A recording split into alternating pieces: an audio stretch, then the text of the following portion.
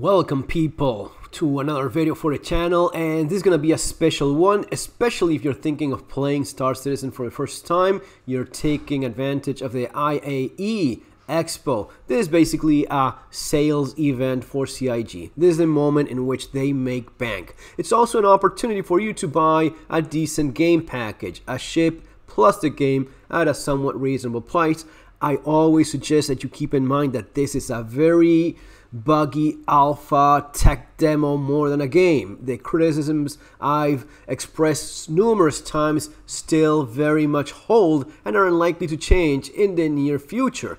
But there's something to be enjoyed here and for most people maybe 50 60 70 bucks it's not that big of a deal and you can have a lot of fun all right? But please do keep in mind that you will have issues. It will be buggy it will be messy and servers may not always work that great especially now there's a lot of people playing for free. Yes you can play for free right now. So you don't have to do anything else just follow the link there below to robertsspaceindustries.com. When you create your account, use a referral code. You can use a friend's referral code. You have my referral code there below, which I appreciate if you use. It's going to be giving you 5,000 credits of in-game money. And if you use it on special occasions, on certain events, you even get a ship. So no matter when you're watching this video, use always the referral code. Now, having said all of that and the disclaimers already expressed, you have now an opportunity to buy a game package for somewhat reasonable money. Let's get into which game package is the one I recommend, which is probably not what CIG wants you to buy right now. Look, you're going to go here, pledge store. You're not buying a game, key legal aspect, you are pledging. So there's no obligation for them to do much other than what they're doing when they want to do it. You have the uh, Gatac Syulen, which is the new hotness alien ship.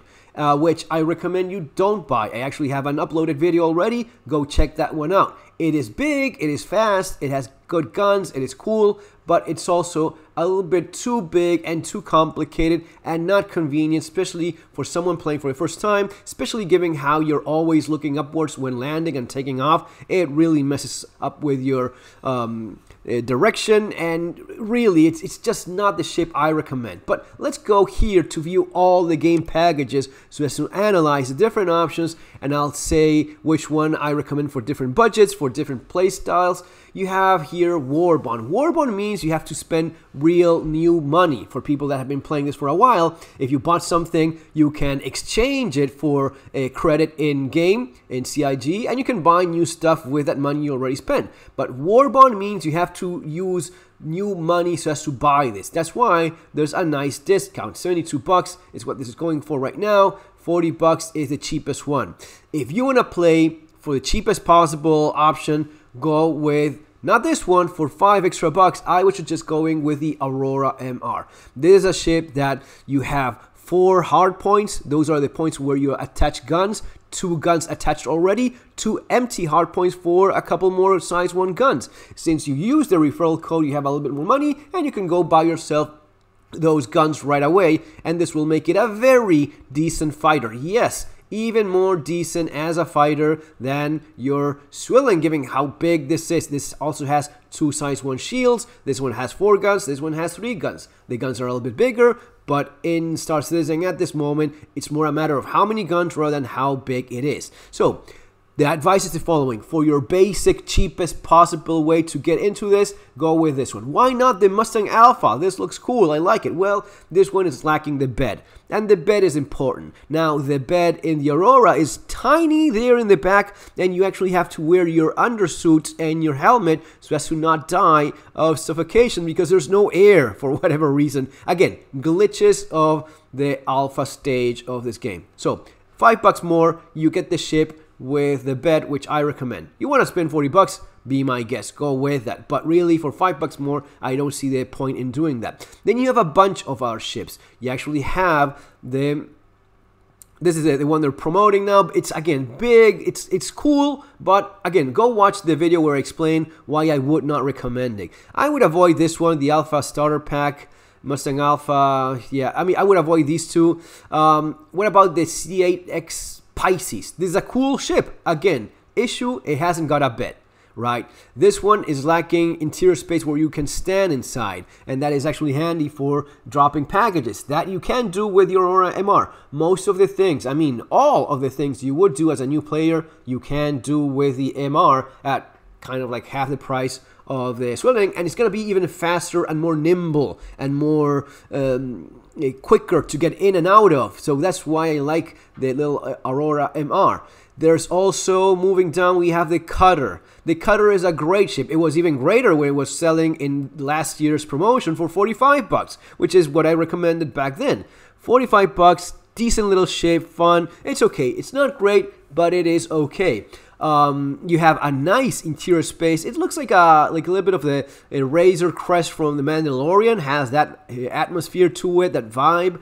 Um, it has a bed. It has a bathroom, which doesn't make a difference. That there's nothing on that in game. You do have a little bit of a garage there where you can park a, a small vehicle, Greycat STV or PTV. The tiny ones, the two smallest ones, fit right there, and you have uh, a little bit of cargo. I think it's like six SCU of cargo capacity that it has. Six? Yeah, about that. It's really not big, but you can do a little bit of cargo. 100i starter pack. This is a cool little BMW little ship. It has just one size, one shield, same as the cutter. It's quite nimble, a little bit more expensive, and a lot tinier. Usually this would not be the one to recommend. This is something I recommend buying in game. It does have a bed, it is very fast, it is quite nimble and agile, and it's not really great for fighting, but it's going to be a little bit better for fighting than your cutter.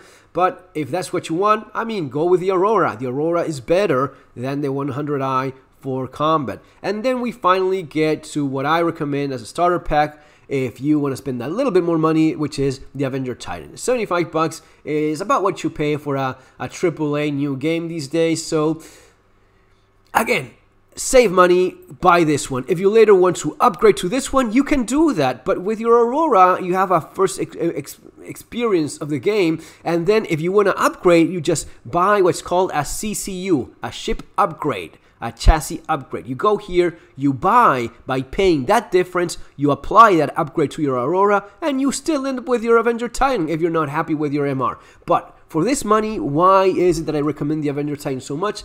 I will have a separate video on that, but quick to the point is this is a great vehicle for combat. You can access it from the front there directly as in a fighter ship. You can access it through the back. It's the only starter ship mentioned so far that has two access points, including the new Alien Syulen ship. So that makes it very convenient for a number of, of situations. You have a ramp, you can get a Greycat PTV vehicle in there, the only um, four-wheel vehicle that fits in there, but you can get it. It's available in game, very affordable. So you buy that little car in game and you throw it there in the back. And the ramp is pretty generous. You can just walk in there and you have a bed. So it can do cargo, it can do boxes, courier. It's convenient, it's great for combat as well. You have two size 3 hard points and one size 4 hard points, and you have a ejection seat that can come in handy for clearing your crime stat in Korea. For all of those reasons and a lot more, get yourself the Avenger Titan is this if the price you're willing to pay okay? So these two would really be the recommendations. You can go with this one but really 60 bucks just get the, the Avenger Titan instead. And then you have the ships that I just don't recommend. Arrow 90 bucks great fighter but you know why? You're not eh, able to move boxes. A Nomad starter I mean, no, really, the Nomad, I, I will just take the Titan over the Nomad any day.